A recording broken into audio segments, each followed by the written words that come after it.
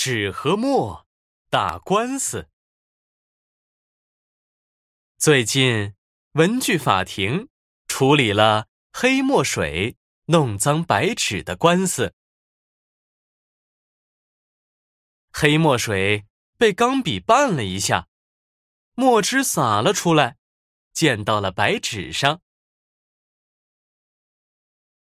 白纸生气地说：“黑墨水很脏，我被他弄成这样，谁还想用我？”黑墨水摆摆手：“我的墨汁一直很干净，怎么会弄脏白纸呢？”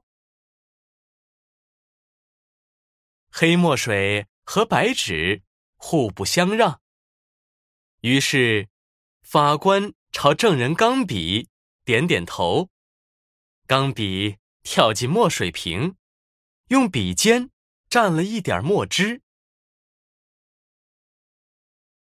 他在白纸上小心翼翼地画了几笔，原本黑色的斑点立马变成了漂亮的花纹。